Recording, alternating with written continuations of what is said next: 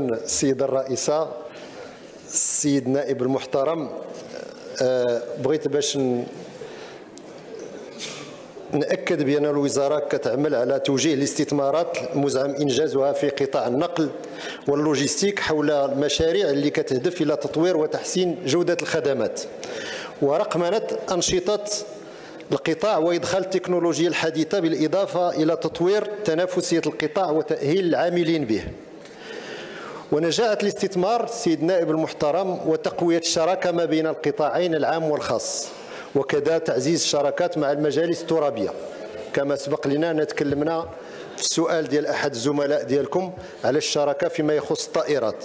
وتدعيم الاستثمار الخاص في قطاع النقل واللوجستيك جعل بين النقط اللي آه، وضعينها آه، كأسبقية هي جعل الاستثمارات العمومية في القطاع حافزا لتوطين الأنشطة الصناعية المتعلقة بالنقل واللوجستيك ببلادنا كالصناعة السككية وصناعة الطائرات.